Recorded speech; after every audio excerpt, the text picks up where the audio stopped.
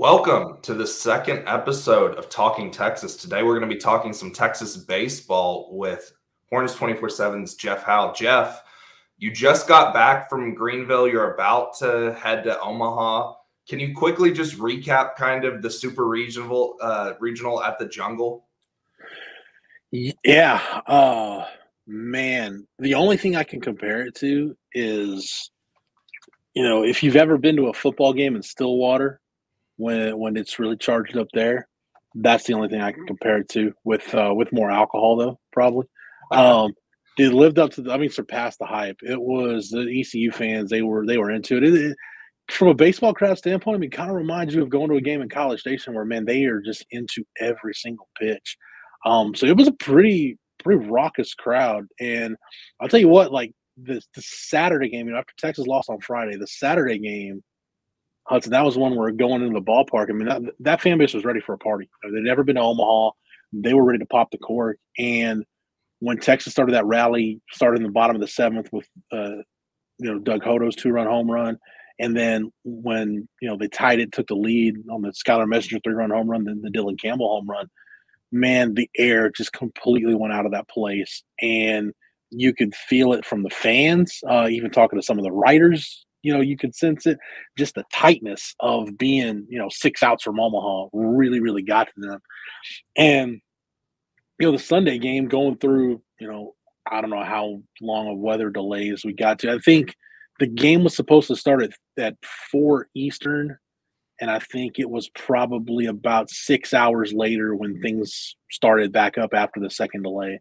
So it was a long day at the park, but um, you could tell that the energy was good, but not the same. It wasn't as rabid. You could tell. I think Cliff Godwin even said it. The ECU head coach said it after the loss on Sunday. They and Saturday was their chance to do it, and they didn't get it done. And that was a Texas team that you let them off the mat. That's the one thing I'll say about this team, man. They do they have their flaws? Yeah. Have they struggled at times this year? Absolutely. But if you're going to beat Texas, man, you this Texas team, you've got to drive the stake through the heart stomp on the throat and like watch them die. Because if they've got a breath left they will fight and claw and scratch for everything. So it, it was a great weekend of baseball hudson like just an awesome weekend of baseball. And it ends with uh well texas going to omaha and and they of the eight teams there with tennessee out of the field texas has as good a case as any for for winning the whole thing Jeff, it's a really interesting point you made about really having to drive the stake through this team because a fellow uh, Omaha member in Oklahoma learned that lesson better than anybody this year with Texas coming back on them during the regular season series yeah. finale. And then in the Big 12 tournament finale, they understood no, we have to beat this team down into submission. Real quick though, I just can you kind of expand on what was going through your mind during the weather delays? Obviously, you were keeping uh, you were on tarp watch, you were keeping everybody up to date on Twitter. I think our your live update thread ended up with almost 200,000 page views. Can yeah, just- it, was like, it was like a 195 this morning, I think. Yeah. Exactly. Like, what was that like for you personally? Um, I you know, I've been through it before, weather delays. You know, the one that immediately I thought of was the 2013 football game at TCU, which I think ended, I don't know, 1.30, 2 o'clock in the morning. Uh, so that was wild. Um, and, and, you know, you've been through. I didn't. I wasn't. I was not in Provo in 2013 for that weather delay. But yeah, I've been through it. But I, I think it was you know, once you kind of got over the fact, okay, well, you know, if they knew the storm system was going through, why'd they even start the game? And you know, you could have put it, but then then Texas is up for nothing when it starts. You know, I wasn't freaking out like some other. You know, I had uh, you know planning ahead in case there was weather or the game got bumped back. They had to bump it to Monday for whatever reason. Um, I got a late flight out. I got the last flight out on Monday. I had a hotel room for that night, so I was fine. I wasn't freaking out in terms of that. Um, I was really interested though and David Pierce kind of confirmed this after the game. There was a point as the delay went on, probably so it was almost five hours. I'd say probably two and a half, three hours into it. You know, the ECU guys started to come out of the dugout and were kind of playing to the fans that were there, and it almost, I don't know, you could almost still see the tension on them, like trying to keep loose. With Texas, I could even see guys in the dugout. It was just like, hey, we've been here before because they have. Like you go back to Omaha last year, that delay against Mississippi State, and I asked David Pierce about that after the game, and he said, "Look, with, with this team, they're so mature. Yes, they're talented, but it's such a mature team. It's a veteran team. They've been there before." He said he didn't have to give a whole lot of instructions during the delay. You know, reminding guys, "Hey, either stay off your feet." Or, or get loose or get your fluids or whatever it was he said guys just kind of were to themselves and he just let them be. And when it was, he would give them updates as he was getting them. I, I do think he didn't confirm this. I do think at one point, I think they caught him mid nap maybe because one of those coaches meetings on the field. No joke, like he came out. I don't even know if he had slides on. He might have just been in his socks and stirrups and and uh and look, looked like you know he his hair looked like he just woken up from a nap. So he didn't confirm or deny that. But um no, they, Texas was just pretty chill, pretty relaxed, and then um so me during the delay, I, I didn't really worry about the Texas team because you almost felt like, okay, they've been here, they can handle this. My focus was on how much of this crowd is going to come back after this delay. Now the jungle was packed. Uh, they let the people in the jungle back in early, and I think there was even portions where it was pouring buckets that there were people there. But you know, the fans in the stands, they were still loud, but it just wasn't that. It wasn't that that that fever pitch that it got to definitely on Saturday, but even at the start of the game Sunday. And you know, the Ivan Melendez bomb kind of took the air out a little bit. And I think at that point, it's almost like that was a fan base that kind of knew that they had missed their chance. So I was just wondering how many of the, the fans would come back. And then really the other thing was, man, okay, you don't worry about this team, but you worry about Tristan Stevens. Like that's a guy, he's been a high usage guy down the stretch. Um, he'd already gotten himself warmed up. Now, and again, talking to him about it after the game, it's like it's just a the balance of just trusting the training staff. Okay, do you need heat on your shoulder? Do you need nothing on it? Like, what do you do?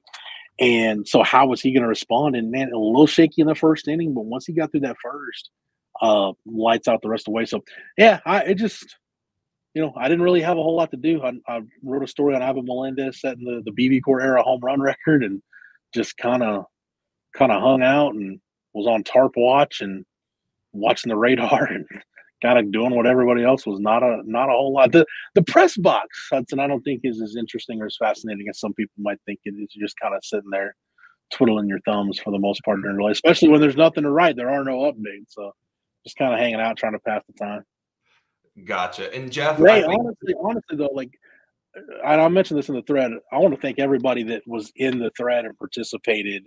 Uh, you know, all our people in the flagship message board uh, that have been following baseball coverage all year. That that group was was awesome on Sunday.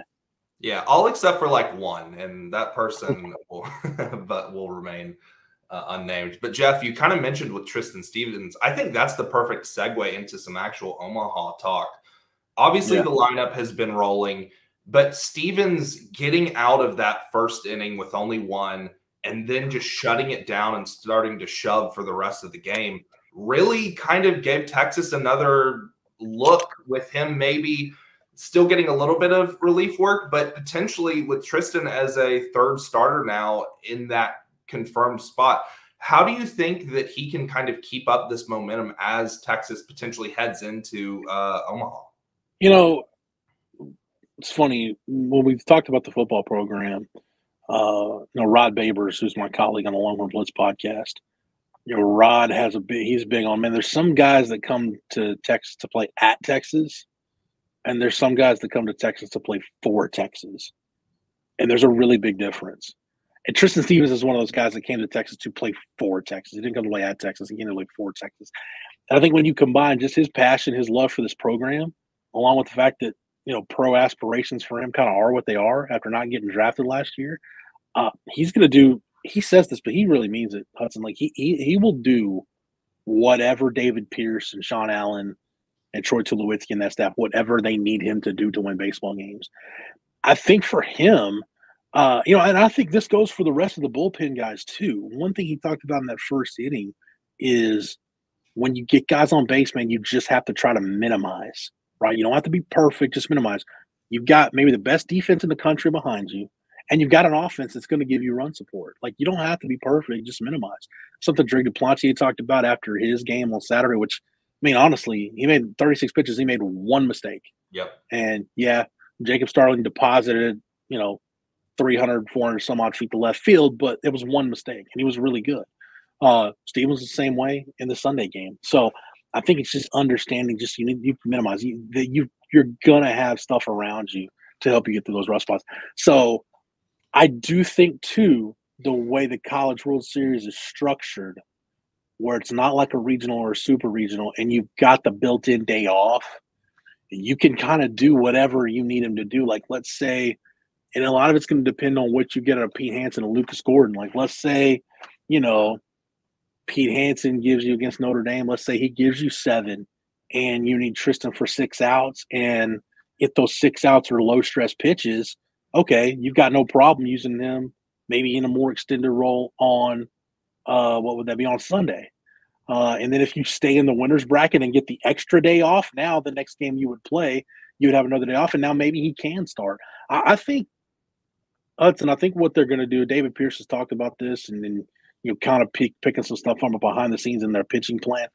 I, I think really it's it's Hansen, it's Gordon, and then when you when the third game comes up, I think at that point you see okay, you know who's had high stress pitches, who hasn't pitched, what's the situation, what's the opponent. Oh, there's a lot that's going to go into it. So I think for this stat, if it is Stevens that starts a third game in Omaha, I don't think it's going to be as simple as okay, he was really good in the supers in the game third in the third game, just put him in that number three role. I don't think it's going to be that simple. There's going to be a lot that goes into it. Then, and again, that third game is going to depend on what that situation is. I think it would be more likely to be Stevens uh, if it's if it's an elimination game. Uh, yeah. But if if it's a winners bracket game where you've got the extra day off, maybe now you feel like okay, maybe the maybe you can piece together with the bullpen. What's Pete? What's Pete's availability at that point? Could he maybe come back? uh, depending on when you're playing, maybe move him a day up. So, I, I again, I just, if you're a Texas fan, I, I don't. I think after Hansen and Gordon, I wouldn't try to draw too many conclusions about what that number three role is going to look like because Tristan, they haven't changed it. His role's still going to be TBD the whole way through. That makes a ton of sense, Jeff. Obviously, now talking about Omaha, six out of the eight teams in Omaha had to win at least some of their regional or super regional on the road. Only two teams hosted throughout in Stanford and Texas A&M. You've got Texas matching up with a Notre Dame squad who I had a friend mention to me kind of reminded them of last year's NC State team with the knocking off the number one in the super. Notre Dame has only beaten ranked competition. Uh, and they went down to Statesboro took out Georgia Southern and Texas. In a good, in a good regional. Yeah, that Statesboro regional was a good, that's a loaded regional. Yeah. Exactly. And then to go into Knoxville and to take game one and then game three from Tennessee, that kind of shows you what that ball club is made out of. And Texas has them in a prime time spot. When you look at this Notre Dame uh, squad, Jeff, what stands out to you? Because for me, it's kind of the depth that they have in the pitching rotation. They do have some good hitters, but what uh, true freshman Jack Findlay's been able to do out of the bullpen, going four or five innings at a time. Um, and they kind of Notre Dame kind of uses an opener a lot of times where they'll throw a guy, you know, just for four outs, for five outs, and then just throw a ton of looks. What stands out to you about this Notre Dame team? Yeah, I'm still in the middle of my Notre Dame prep, but I, I think one thing going back to the Tennessee series, I think the way, and first of all, let me say this about Notre Dame. Like Link Jarrett obviously has done a phenomenal job with that program. They should have been a regional host. I mean, you, you, you look last year. Last year they were deserving of a top eight and didn't get a top eight. This year they were very deserving to be a, a host, one of sixteen hosts, and they weren't. Uh, and like you said, had to go on the road, win a tough Statesboro regional. I think probably what's interesting is maybe the way they handled because Tennessee, Tennessee there's no secret what they're going to throw at you. I mean, they're throwing high velo guys at you, whether you're talking about Dollander or Burns or Joyce, whoever you're talking about. Tennessee, they, they'll run the high velo guys out there. I think the way they handled that, I think handling in that environment, that's not, you look at their pitching, Hudson, that's not an easy place to pitch in.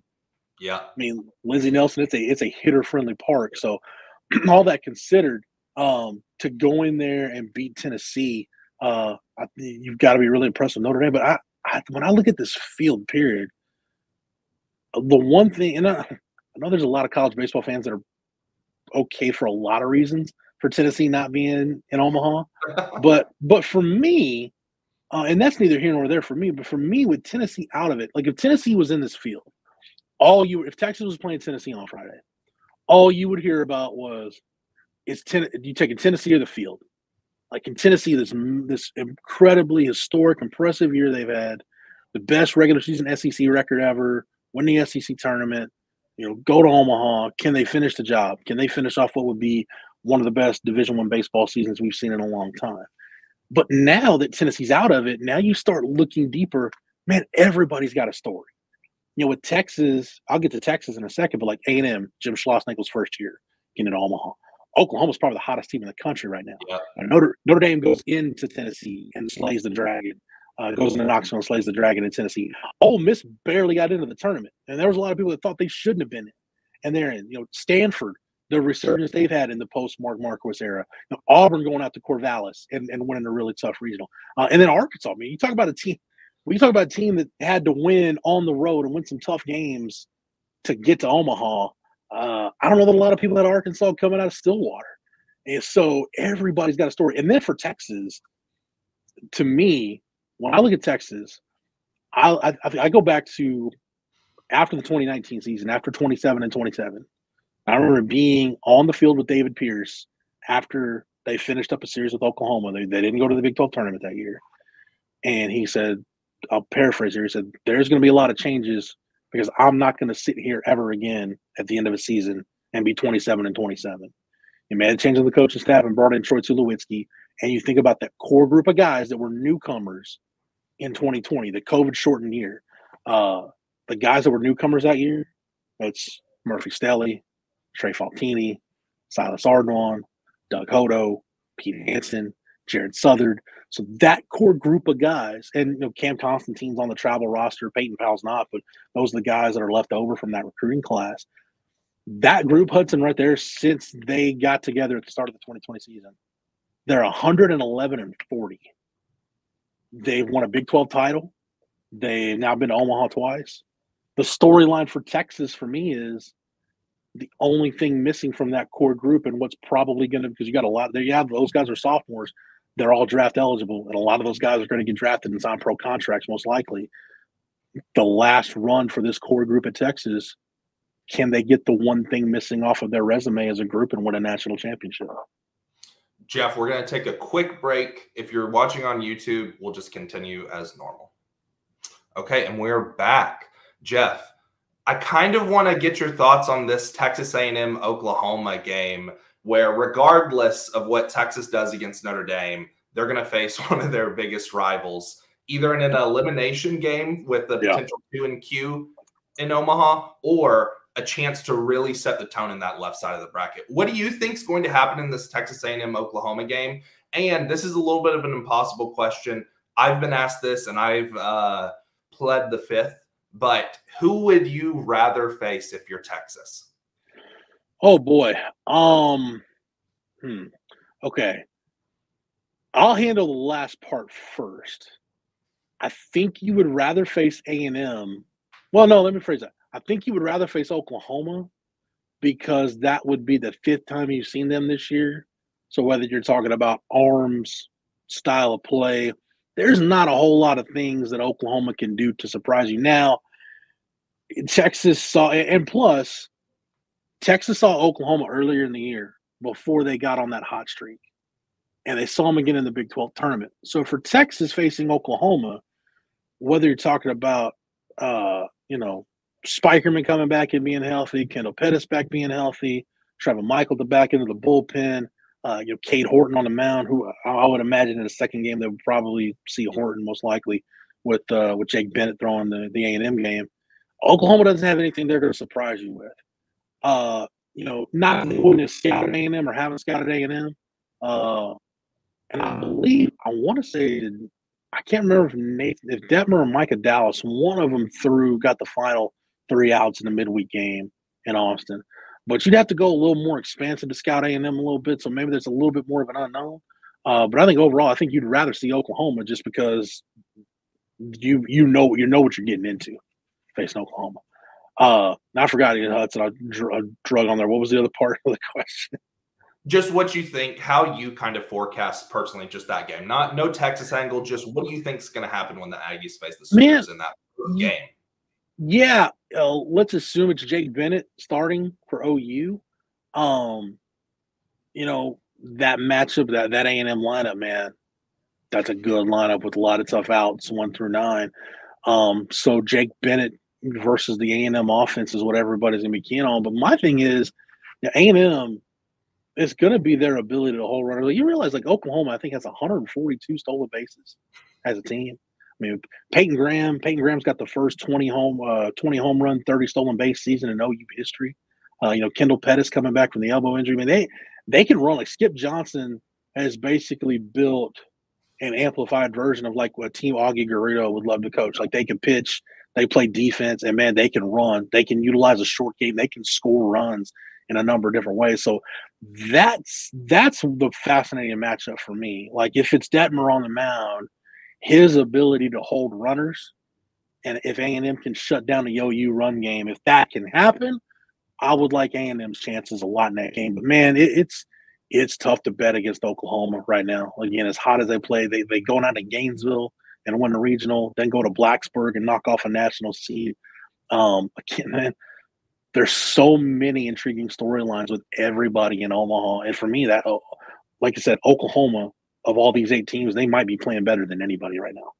I'm with you on that part. And especially considering how Florida entered the tournament and going down the yeah. And plus, like you said, with that Blacksburg super, oh my goodness, they, they, uh, you know, really blitzed Virginia Tech off of their own uh, diamond. So that was pretty crazy to see.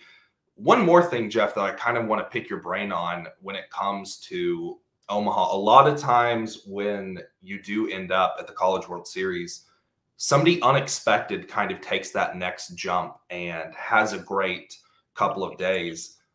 I feel like last year, I don't know if you would agree, but last year was probably Eric Kennedy who was struggling a little bit, got to Omaha and just started raking. When I look at this Texas lineup, though, Jeff, it feels ridiculous to say, but I don't really see an unexpected guy because all nine hitters have proved throughout the postseason that they can come up in the clutch when it's time. Faltine, Dylan Campbell, even Silas got on the board with a solo jack, even though the stakes weren't high. But yeah. and, and then you know in the six hole, Skylar Messenger's what hitting basically 375 to all yeah. fields. So this with the with, with, with double double digit home runs, yeah, exactly. So it's just one of those things where Texas's six through nine hitters, you can't pick on them. And I don't know that that's something you've necessarily been able to say on previous Omaha squads for the long no. run. Not even mm-hmm. mentioning that Ivan Melendez and Murphy Stehly might be the best one-two punch in college baseball. Yeah, like going back to the to the Greenville Super, the third game, what broke it open. I mean, yeah, Tristan was awesome, and Ivan's home run to set the record um, got it started. But you go back, you, the second inning, it's a 5 1 game after Kennedy singles. Wild pitch puts runners in scoring position. You got first base over with no outs, and you intentionally walk Ivan, which I don't blame you if you're Cliff Godwin, but you're walking him to get to Murph, walking him to get to a second team All American who's sitting th- over 370 with 19 bombs. And he came through with the two run single and, you know, broke the game open at a five run, five run second. Um, I'll give you one guy though um, and, and talking to some of the ECU riders when they started studying Texas, some of the guys were telling me, and when you look at Trey Faltine, there's like only a couple things that are going to happen when he comes to play based on his numbers throughout the year. Basically, he's either hitting an extra base hitter to strike out. And I felt like in the in the third game, he worked a walk in that game. He had a single in that game uh, to help get that big inning started. So I think Trey Falt Trey Faltine's ability to get on base and help the bottom of the lineup be productive. If he's productive, and Ivan said the other guys have said this, man, when Trey gets going, this offense goes to another level. If you get him in the nine hole, because again, all those guys at the top of the order, Hodo's got double digit home runs. Kennedy's got nine, so he's one away from joining the club. And then, you know, you go three, four, five with Melendez, Stehly, and Todd. If Faltini can get on base and you know take take walks and, and you know, take good productive at bats.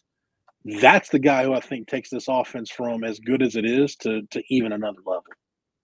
That's a great point, Jeff. And it's kind of that maturity with this Texas team having been in these spots of knowing it's the postseason. We're changing the approach a little bit. And I think that plays to their advantage considering the fact that a lot of teams get to Omaha, the park plays big, and they kind of uh, you know, you know, sometimes uh, they can kind of get away with getting some 310 home runs and uh, some Mickey Mouse parks. And then, you know, when you get to Omaha, it's not like that. So, no.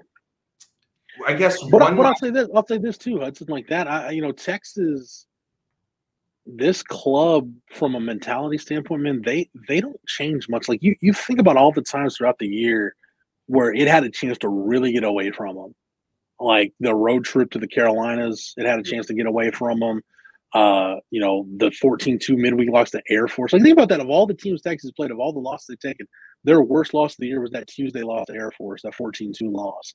Uh, you know, getting swept at home by Oklahoma State, losing the K State series on Easter weekend. Like there were a lot of times where th- it could have just come unraveled and this team could have just fallen apart.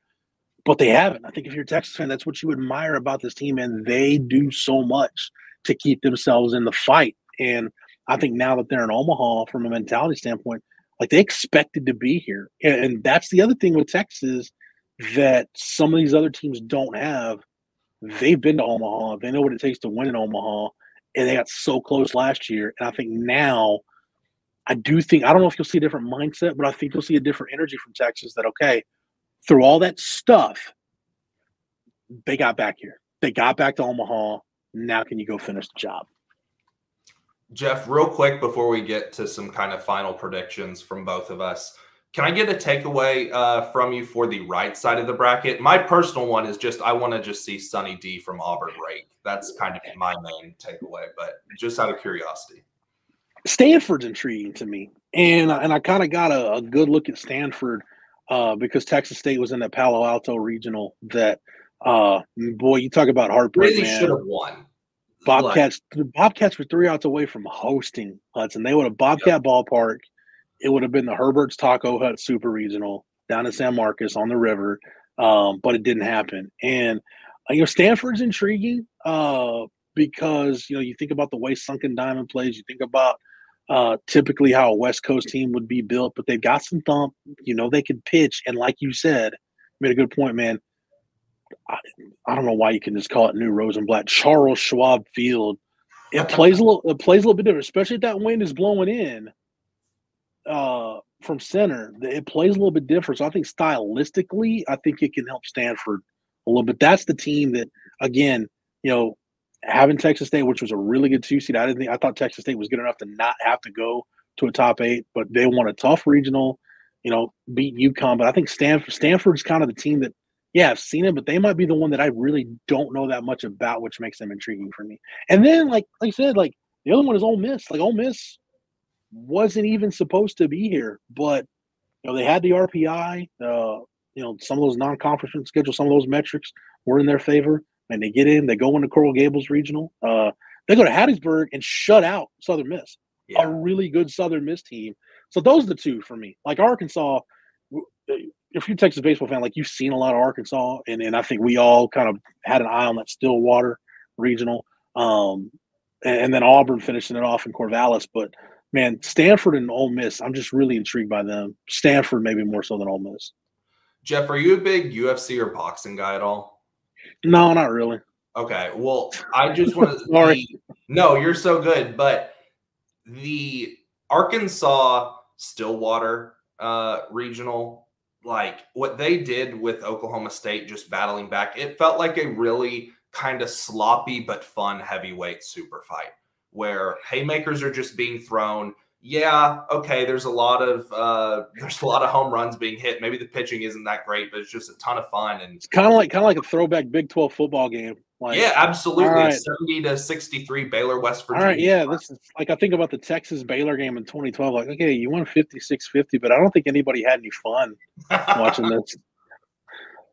Exactly. Somebody won on the scoreboard, but I don't know. I don't know that anybody really won. You know just survival exactly but that was another one i think when we kind of realized that Texas would be hosting everybody, even though Arkansas really was limping into the postseason. You still didn't want to see them as that two spot in your regional. Oh.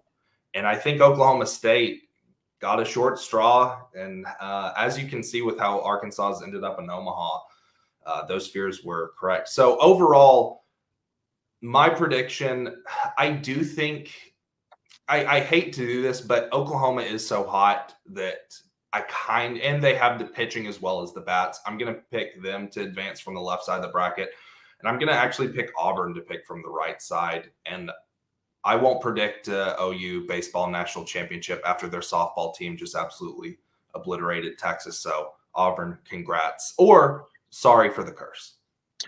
I'll tell you this: um, I do feel like it'll be Texas and Oklahoma in a winners bracket game. I think the winner of that winners bracket game gets the job done. Because even, even in Omaha with the built-in days off, like we we've seen it through the regionals and the supers, man, it is so tough to come out of the losers bracket just because it, at some point you're going to run out of arms. So I think whichever tech because we, we talk about how it sets up for Texas, man. If you if you can win the first two, you set yourself up really nicely. You give yourself some margin for error to get to the championship series. So I, I think it's going to be Texas and OU on Sunday uh, in yeah, it would be the rubber match. They're they've played four times. They split the four. Uh, who's going to win the fifth? I think whoever wins that Sunday game between Texas and OU, I think they get there. I think that's your national champion. Elliot. Jeff, thank you so much for the time. When are you leaving for Omaha? So I will leave Thursday, uh, Thursday around lunchtime. And based on hotel reservations, rental car, all that, I'm planning to be there through Monday the 27th, which is if the championship series gets to a third game, that's when it'll be. So I'm looking forward to it, man. I, I went 14 was the first time I, I went and didn't know what to expect. And lo and behold, a Texas team that probably, quite frankly, had no business being there uh, was in a winner take all with Vanderbilt trying to get there. Uh, didn't go in 18, and uh, you know, with COVID protocols last year, kind of made going not make sense. I'll tell you this: like you look at, and yeah, I know you can talk economics and prices are what they are with inflation and everything, but you've got you think about this. Like Oklahoma hasn't been there since 20, I think 2010. Last time Oklahoma was in Omaha. Uh, you got A and M with Schloss, and they're there, and they got a chance. Uh, Auburn's there. You've got, and, and Texas fans kind of know the deal going to Omaha, but really with with Oklahoma, Notre Dame, and Auburn, you've got three really passionate, really large fan bases that suddenly have a reason to care about going to Omaha. Yeah. This, I think, Hudson, this will be the most exciting, thrilling, hyped up college World Series that we've seen. And I, I love college baseball. I love this for college baseball because again, with Tennessee out of it, I, I was looking at the odds today. Like A and M has the lowest odds. Yeah, A and M at eight at eight to one though. Yeah. So like you're ba- so basically what Vegas is saying is this thing is a coin flip. Yeah. Is basically what they're saying. And the best odds I've seen are either 425 or plus 475 for either Texas or Stanford. The power ratings yeah. do not love A&M. Uh, just like the analytic uh, models just really are not a fan of the Aggies, which I find pretty interesting.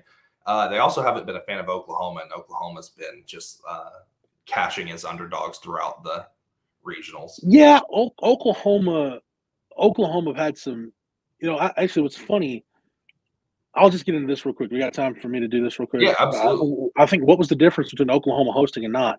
Everybody looked at the Globe Life, the series of Globe Life, like, oh, that should have counted as a neutral site game. Here's why it didn't, and I think this is why Oklahoma didn't host. Oklahoma had a non-conference series in February against Northwestern State, and they asked the folks at Globe Life and the Rangers, "Hey, winter weather, can we play it down there?" okay, you can, but we're going to want you to move a conference series here. And, and we're going to want it to be Texas. And Texas wouldn't have done that unless, okay, we want the RPI bump for that being a road series. Like we can, we'll move it, but we want to make because you get more points. The RPI benefits you much more to play a road game than a neutral site game. So that's what happened. But in that non-conference series, Hudson, Oklahoma lost one of those games to Northwestern State. So that's one of those. I think they had five five sub 150 R sub 150 RPI losses this year. And remember that week when uh, everybody was concerned about RPI and all the midweek games got canceled? Yeah. Okay, yeah, that week OU went on the road and lost 18 nothing to Wichita State.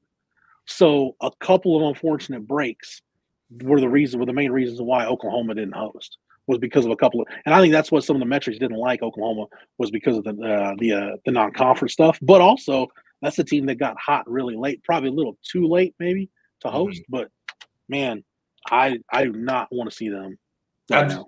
Absolutely not. And Jeff, you know this, but like with college football and college uh, basketball, in addition to MLB, all of the professional sports, college football with SP Plus, college basketball with KenPom, you have these uh, established right. political models. Where with college baseball, you're finding out that people on the fly are starting to realize, oh God, we've got to really start factoring in for recency a lot more because these teams do go on runs. The, yeah. You know, what matter what happened in March really doesn't matter as much with college baseball as some of the other sports where you kind of have a more stable sample size. Yeah, and I think too, like like with college basketball, the fact that you've got KenPom and Bart Torvik, and you've got all these different metrics that weigh different things. Um, if there's something like that for college baseball, I'm not aware of it. You just got the RPI, and that's pretty much it. And, and a couple of low level uh, sites trying to kind of get yeah. And I know I know Kendall Rogers and the guys at D1 Baseball, they do a good job of tracking it. And they've got, you know, you can find kind of your your meat and potatoes metrics, you know, your RPI, your non-conference strength schedule, non-conference RPI, uh, kind of your quadrant law, quadrant records and things like that. But yeah, I, I think if there's somebody that's got enough time and more brain power than I've got, if you can do kind of what KenPom or Bart Torvik has done for college basketball, I do think because now you know, with the selection committee for college basketball, it used to be they would just maybe consider the RPI, and that was wow. it, not look at these the metric. Now, every, that that selection committee for the basketball tournament, everything, everything is on the table. So I, I feel like, and then and then this year you really needed in college baseball this year because it was such a man. It was so like the bubble was so small. Like West a team like West Virginia, like you finished with a winning record yeah. And what was the Big 12? I think the number three RPI conference. West Virginia, NC State. Yeah. You finished with a winning record in a top three RPI league. Dude, nine years out of 10, you're in. Like, Absolutely. no question. West Virginia was so far off the bubble, I don't even know where they were. So yeah, you do need you do need to fix it. Sorry for nerding out there, but yeah, no, I, I would I'm like to. See, I absolutely. Yeah, I would like to see something like that for college baseball for sure, or just you can have the RPI, but something else to go with it. Absolutely. And also, one last kind of point on that the RPI is not the most um, complex uh, no. algorithm. And so, when you have staffs who schedule with it in mind and it's less about play and more about gaming the system, it kind of loses a little bit of value.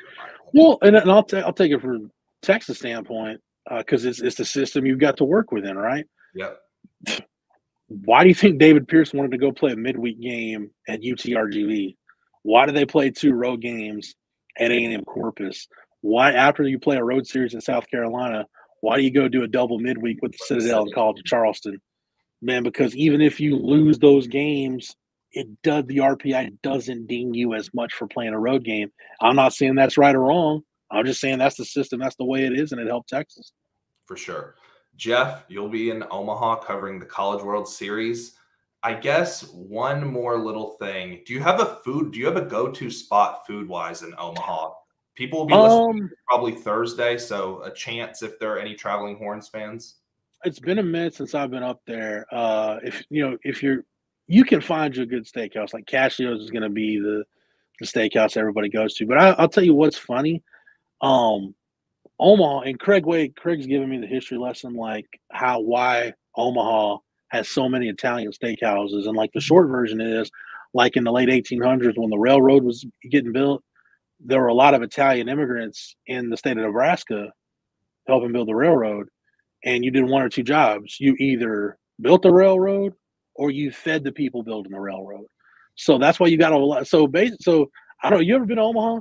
That's I haven't actually. Nebraska. Okay, so like if you go to an Italian steakhouse in Omaha, like normally you go to a steakhouse, what are your sides, right? Like maybe a baked potato or something like that. Man, in Oklahoma, in uh, in Nebraska, in Omaha, when they bring you your steak, they bring you like a side of spaghetti to go with it. So it's kind of hard to wrap your head around. But man, there's there's so you you'll run into some good steak houses in Omaha. That's the big deal. You get you a good steak um, in Omaha. That's that's the winner. Perfect. This has been the Talking Texas podcast, talking some Texas baseball with Horns 24 7's Jeff Howe.